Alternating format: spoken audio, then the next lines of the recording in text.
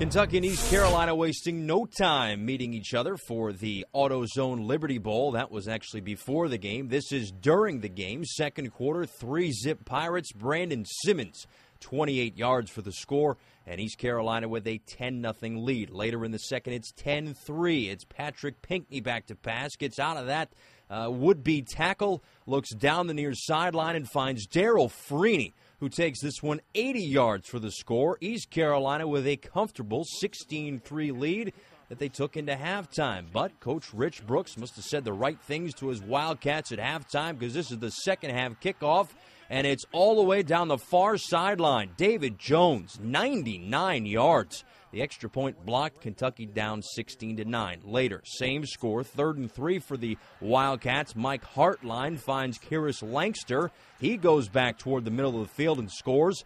The extra point good, so it's tied at 16. Fourth quarter now tied at 19. Second and 7, Norman Whitley on the run coughs it up, and Kent Ventrell Jenkins goes the other way, 56 yards for the touchdown. The second fumble on this drive for East Carolina. The first one under review came back. This one could have been reviewed because it looked like Jenkins was down. Either way, Kentucky wins.